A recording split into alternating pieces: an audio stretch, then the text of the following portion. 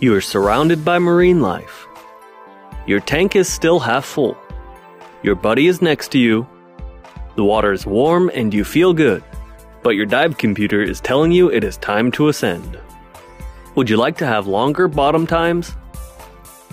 You just surfaced to replace your tank, and you want to go back right away to take that picture before the shark goes away.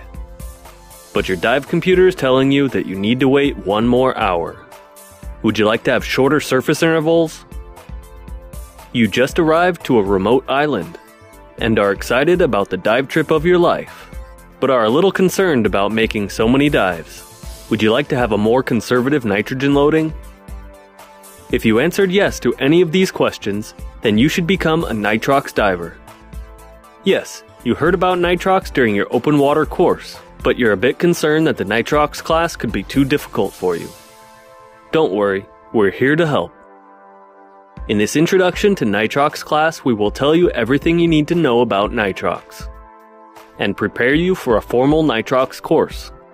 We will give you some historical facts, and then we will discuss the physics and physiology aspects of nitrox diving. In Module 5, we will go over the important limits of nitrox and we will even use nitrox tables and calculate the oxygen exposure together. Then we will discuss how nitrox is produced, we will cover equipment requirements, and together analyze the content of a nitrox tank.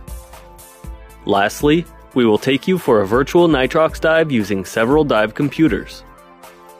Some of the chapters will have quizzes, but don't worry, if you get some of the answers wrong, we will tell you so and you can always go back and review the material. So you will be well prepared and ready for the final test. Once you complete this class, you will be ready to walk into your local dive store and easily pass their agency provided nitrox course. Become a nitrox diver and enjoy longer bottom times. Now, let's get started. Press next at the bottom of the screen.